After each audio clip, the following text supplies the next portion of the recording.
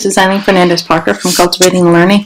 In this tutorial, I'm going to be showing you how to add your own content to your My Content area.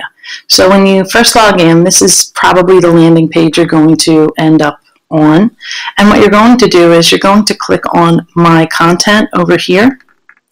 And then once you're inside My Content, you can see all of the videos that you have found and used um, or might intend to use. You're going to hit the Add Content button over here on the right, and you can create a video, upload a video, student project, or new folder. So I'm going to choose Create Video to see what the options are. And here you can filter by subject over on this side. I can also over here look at popular channels. Edpuzzle has its own channel. Then YouTube, and the YouTube Kids is what is available here. Khan Academy, National Geographic,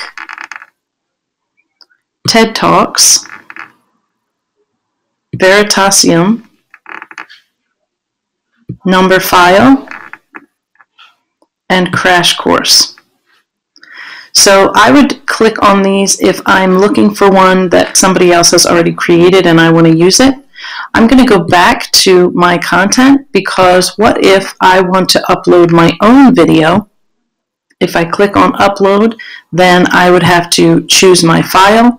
If you are on a Chromebook, you should be able to just get it out of your drive. If it is in your drive because you used Screencastify, it might be easiest for you to um, send it to YouTube and then get it off of YouTube, but otherwise you'd have to download it from Screencastify to your computer, and then you would have to upload it here, and then you'll be able to do voiceovers or add questions um, or add uh, thought bubbles.